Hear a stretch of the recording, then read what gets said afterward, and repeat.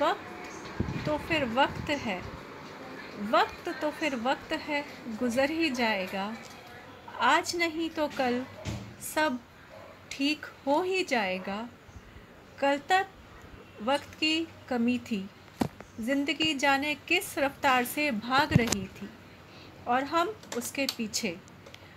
ये जो दिन बीत रहे हैं, इन्हें कहीं ख्वाबों में देखा था।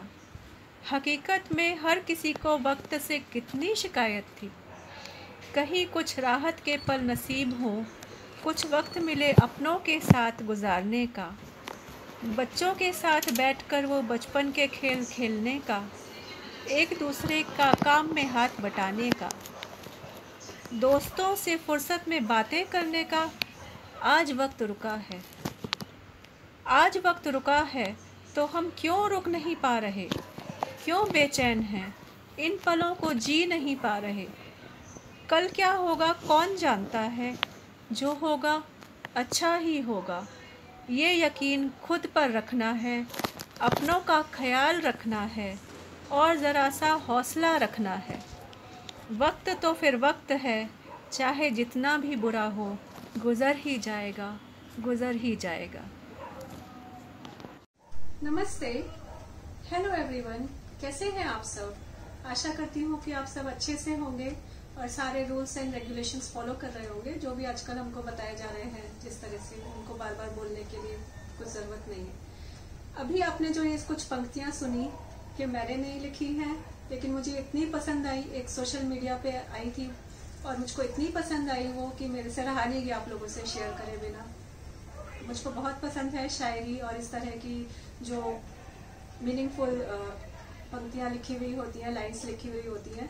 तो और आजकल के माहौल में ये इतनी ज़्यादा अच्छी लगी मुझको, इसलिए मैंने आपको उनके साथ शेयर किया। आज जिस टॉपिक पे मैं ब्लॉग बनाने जा रही हूँ, वो है लॉकडाउन पीरियड में हम खुश कैसे रह सकते हैं? जैसा कि आजकल हर एक कोई सभी परेशान है, घर में रह के, क्योंकि सबका रूटीन चेंज हो चुका है। जो ऑफ़िस जाते थे, वो ऑफ़िस नहीं जा पा रहे, जो स्कूल जाते थे, बच्चे वो स्कूल नहीं जा पा रहे, और हम, हमारी मेड्स नहीं आ रही है और दिन भर घर में बस अलग तरह से काम चल रहा है और कुछ रूटीन नाम की चीज़ ही नहीं रह गई है। तो सभी आजकल मुझे पता है इस टॉपिक को लेके बहुत परेशान है, सोच रहे हैं कि दिन भर करें तो करें क्या। और किसी का मन नहीं लग रहा। मैंने यही सोच के आज बनाया कि मैं कुछ ऐसे आपको पॉइंट्स बताऊँ जिसमें, जिसको अगर आप फॉलो करें तो हो सकता है कि कुछ पॉजिटिव आउटकम आए।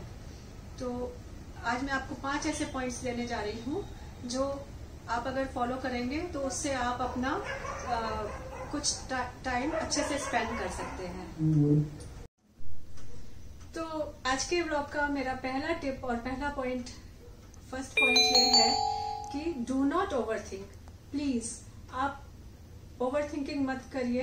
ये एक बहुत बुरी बीमारी है जो अगर हम ओवर थिंक करते हैं किसी भी चीज़ को लेके तो आप हमेशा देखिएगा हमको उसको सोच के ना टेंशन ही होता है।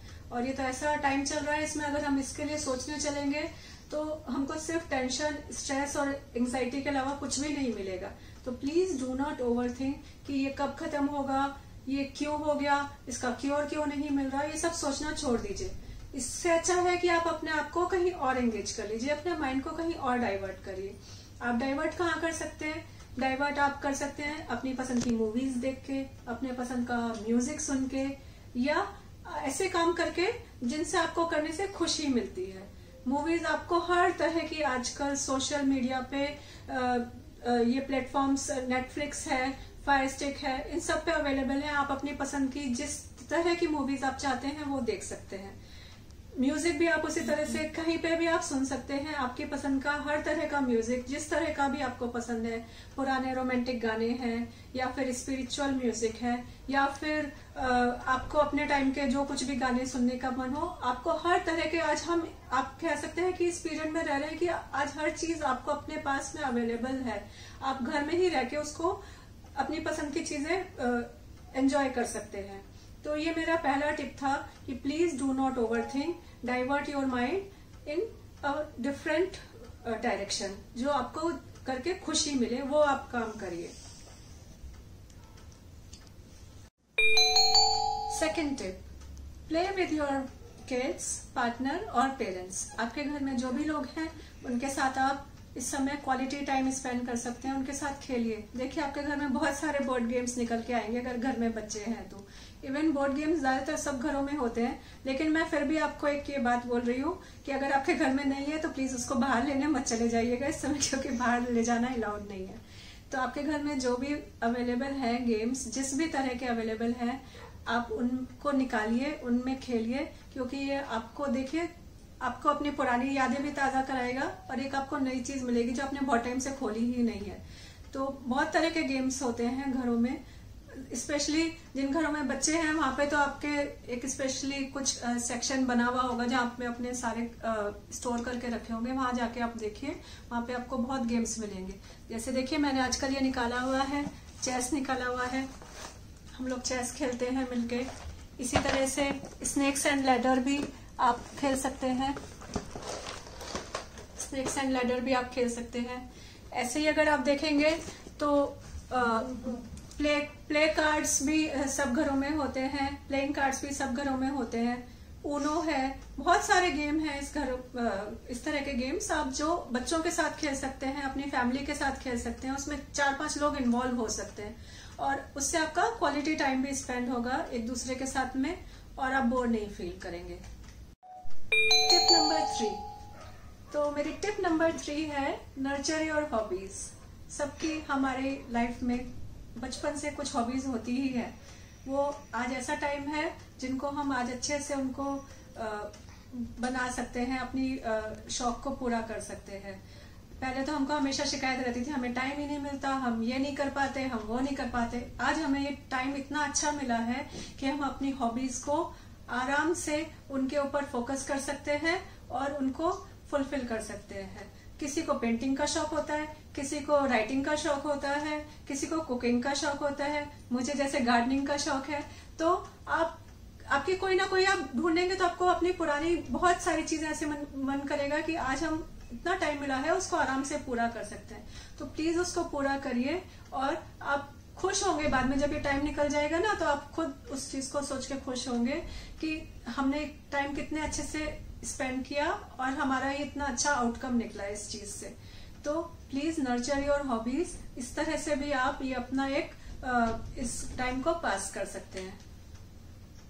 टिप नंबर फोर जो मेरी फोर्थ टिप है, वो है डीप क्लटर और deep clean your home your space even your electronic gadgets ये आपको टाइम जो मिला है ना, आप इसको बहुत अच्छे से यूटिलाइज कर सकते हैं। इस समय आप अपने घर को इस समय हर एक एरिया आप डिक्लटर कर सकते हैं। आप खोलने को चलेंगे ना तो आपके वार्ड्रोब्स आपकी किचन और आपकी स्टडी टेबल आपकी बुक शेल्फ में इतना सारा सामान मिलेगा ना जो आप उसको डिक्लटर करके किसी नीडी पर्सन को जब ये पीरियड खत्म हो जाएगा, उसके बाद दे सकते हैं। तो आप इसको ऐसे यूटिलाइज कर सकते हैं टाइम को डीप क्लीन कर सकते हैं। आपके घर में जैसे किचन का एरिया होता है या कई एरियाज़ ऐसे होते हैं जो आपने बहुत टाइम से क्लीन नहीं करे। अभी आपको टाइम मिला है तो आप उसको भी इस टाइम को उसमें स्पेंड कर सकते हैं कि उस पूरे एरिया को डीप क्लीन कर लीजिए तो आपको बाद में खुद ही अच्छा लगेगा। इन चीज़ों के साथ में आप अपने इलेक्ट्रॉनिक गैजेट्स जो आपके लैपटॉप हैं मोबाइल हैं, उनमें भी कई ऐसी फाइल्स होती हैं फोटोग्राफ्स होती हैं एप्स होती हैं, आप जिनको डिलीट कर सकते हैं और उनको सॉर्टिंग उनकी कर सकते हैं। इस तरह से आप अपना ये टाइम इस तरह से भी क्वालिटी वे में स्पेंड कर सकते हैं। Fifth fifth tip is please do exercise regularly आप कोई भी टाइम निकाल लीजिए। सुबह उठते हैं तो सुबह करिए, शाम को कर सकते हैं तो शाम को करिए। रात को करिए तो रात को करिए, लेकिन एक्सरसाइज किसी भी फॉर्म में ज़रूर करिए। या तो आप योगा कर सकते हैं, या आप एरोबिक्स कर सकते हैं, या तो आप सालसा कर सकते हैं, या आप जुम्बा कर सकते हैं। किसी भी फॉर्म में आप एक्सरसाइज करिए। और अगर आपको मेडिटेशन करना भी आता है तो that will be a bonus point तो क्योंकि एक्सरसाइज हमारी बॉडी के लिए टॉनिक का काम करती है। ये जो हमारा स्ट्रेसफुल पीरियड चल रहा है, इसमें आप अगर एक्सरसाइज करेंगे तो आप कुछ दिनों में खुद ही इसको देखेंगे कि आपके अंदर कितना आपका माइंड सेटल होता जा रहा है और आपको फिर इतना स्ट्रेस नहीं होगा। तो प्लीज़ आप इस पीरियड में एक्सरसाइज करना भी एक अपने रूटीन में लेके आइए और इसका पॉजिटिव आउटकम देखिए। तो ये थे मेरे पाँच टिप्स जो मैं आज आपके साथ शेयर करना चाह रही थी कि इस पीरियड में आप कैसे खुश रह सकते हैं, कैसे अपना टाइम स्पेंड कर सकते हैं। इसके साथ ही मेरे पास में आज एक और सरप्राइज़ है आपके लिए, जो मैंने अभी ये दो तीन दिन पहले ही बनाया था, वो मैं आज आपके साथ शेयर कर रही हूँ। वो है ये फेरी लाइट ग्लास बाउल ये देखिए ये मैंने अभी दो तीन दिन में ही बनाया है और इसमें आपको कुछ भी एफर्ट नहीं करना था। आपके पास में जो घर में सामान रखा हुआ रहता है कई बार हम कई ऐसी चीज़ें स्टोर करके रख लेते हैं कि हम शायद इनको बाद में कभी यूज़ करेंगे आ, या हमारे काम में आ जाएँगी। तो उसी तरह से मेरे पास में ये बाउल रखा हुआ था इसको मैं पहले वाटर प्लांट्स के लिए यूज़ करती थी और मैंने संभाल के रखा था। फिर मैंने उस दिन सफ़ाई करी तो मुझको मिला और मैंने सोचा इसको इस समय कुछ यूज़ करते हैं। तो मैंने इसका एक डेकोरेशन पीस बना लिया। देखिए ये कितना सुंदर लग रहा है और कहीं बाहर नहीं जाना, कुछ नहीं करना, बस आपको अपनी क्रिएटिविटी यूज़ करनी है और उसमें से बहुत कुछ निकल के आ सकता है और आप उसको बाद में देख के खुद ही खुश होंगे। तो आज के लिए बस इतना ही। मैं अपना ब्लॉग इतना ही रखूँगी। आप प्लीज़ अगर आपको कुछ इनमें से कोई भी पॉइंट्स आपको अच्छे लगते हैं तो उनको फॉलो कीजिए। और मुझे बताइएगा कमेंट सेक्शन में, अगर आपने फॉलो किया या आपको उनमें से क्या पॉजिटिव आउटकम मिला। और अपना प्लीज़ ध्यान रखिए और अच्छे से रहिए, खुश रहिए stay safe stay at home be happy be positive bye